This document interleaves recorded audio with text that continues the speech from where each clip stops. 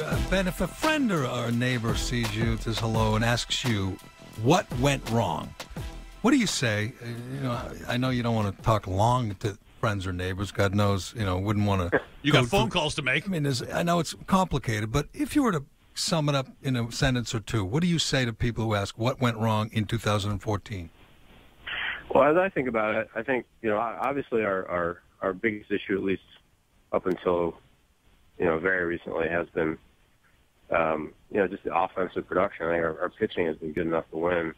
Um, we just haven't produced offensively. And as I look at that, I guess what I would say is that um, I I just didn't do a good enough job um, building uh, a complete offense, a, deeper offensive uh, contingent to give us the kind of deep lineups that um, we've had. It, it, it was, certainly wasn't wasn't our intent. We we thought we we thought we would have that. We thought we you know we had we thought we had reason to believe we could have that going into the year, but the reality is that we have not. Um, you know through the you know the big chunk of the first part of the season. So and, and that has hamstrung our ability to win games. So I don't I don't think that I don't think that's you know specific to any one player or any one decision. It's just in aggregate, I didn't do a good enough, good enough job um, building a, a deep enough offense to uh, at least to start the season. So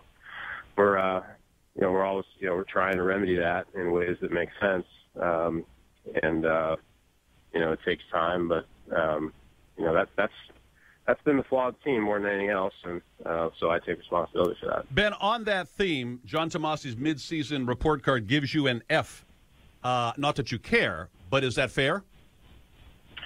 Uh, you know, uh, I don't, I don't know. I, I hadn't seen that, but I, I think that I, uh, and we all, but certainly I'm at the, I'm at, I'm at the front of the line. You know, those of us that work there, um, you know, we're, we're beating ourselves up before anyone else is. So, um, you know, we we know what the record is. We know um, what has gone into that, and so um, we're accountable for that and accountable for and responsible for trying to make things better. So, um, I don't really, I don't think I need anyone else's grade, but I, I, I, uh, I understand why the why those things are out there, and and uh, it's part of the great thing about being in Boston. People care, and so those things are talked about.